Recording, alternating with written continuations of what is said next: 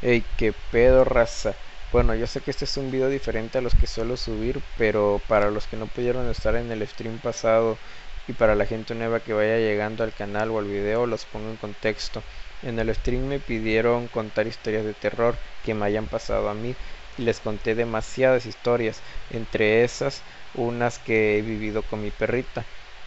Hagan de cuenta que mi perrita antes se quedaba mirando a la nada. Aquí en la casa se quedaba mirando hacia un espacio donde no había absolutamente nada, ni objetos, ni nada, y empezaba a ladrar como si viera algo. Pero ahora, después de mucho tiempo, como que ya se acostumbró, se le hace tan normal que literalmente se pone a jugar con eso que sea que ve.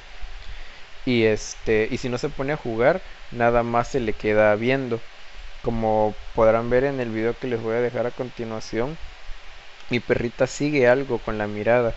Vean cómo mueve su cabeza y ella como que sigue algo que evidentemente yo no puedo ver.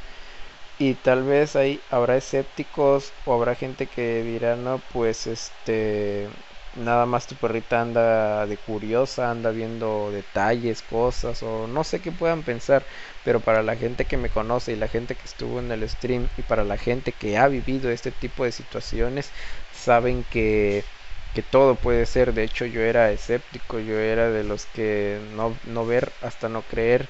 Y ya que he vivido de todo, la verdad es muy feo vivir este tipo de cosas. Y bueno, entonces este los dejo con el video para que vean cómo mi perrita con la cabeza está, o sea, vean cómo mueve la cabeza como observando algo que se mueve, que solo ella puede ver, yo no. Entonces los dejo con el video.